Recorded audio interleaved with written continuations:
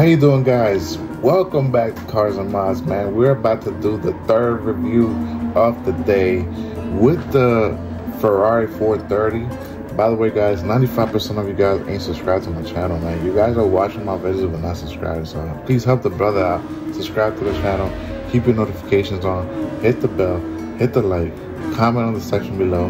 But we're gonna be doing a video on the new map on the third car. We did the like Gallardo, we did the BMW M3, and now we're doing the Ferrari 430.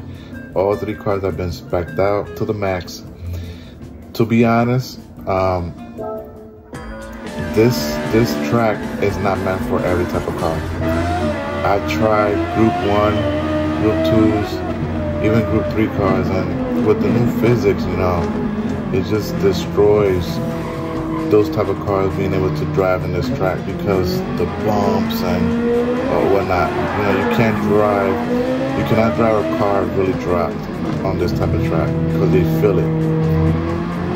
So the new physics makes you feel like, you know, the bumps and, and all that stuff. So I say like touring cars and regular cars are okay. Supercars, like right now I'm racing with hypercars but I had to put my suspension up because the way it was stock, it was not letting me turn at all. I was crashing on the walls here and there. So right now, this Ferrari 430, it looks kind of ugly, but this is up on the suspension. It's just, this map is crazy. I like the map, but it feels so tight the fact that it's only a minute to make a lap is, is funny.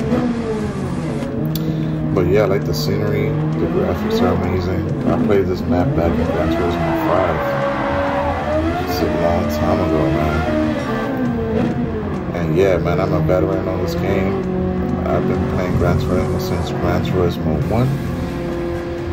Gran Turismo 2 when it came out with the double disc, the arcade mode, and uh, other the other mode that you make money and you know build your garage and whatnot with the memory cards, eight megabytes. I remember that man, eight megabytes of memory cards. Now we got a terabyte systems. This is crazy how technology has advanced and changed, right? But yeah, this uh, Ferrari 430, it's amazing. I love the way it looks It handles way better on other tracks than here. Like here is just I don't know. I don't know if it's just this track particularly, but we took it to Le Mans, we took it to you know other tracks, and it's a beast. I love it. It's just braking, right? because it's going downhill, but it's a beast of a car.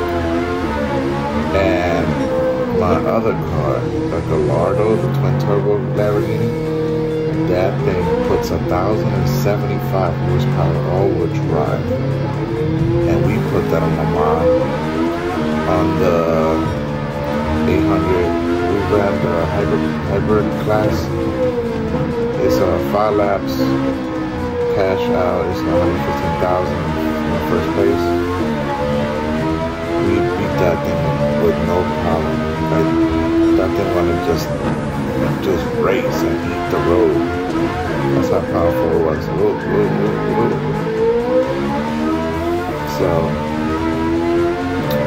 I think our next car that we're gonna try out will probably be the Rally Subaru or not the RUF. But yeah guys, this is the Ferrari 430 Liberty Walk style. We got the Liberty Walk livery on with some nice. This is one of the new rims that we that we got that came in the update as well. And yeah, let me know what you guys think, man. Hit a like, subscribe to the channel, guys, and let's go to the next video. Let's see what car should we do next. In the comment section below. Out of the six cars, this is the third car we done. So we still got the RUF, we still got the um, Subaru, and we still got the new, I think it's the Genesis uh, that we gotta do. It's a million dollars. But um, let me know in the comment section below and we'll be doing that video soon. All right, guys. Shout out, and I'll see you guys on the next one.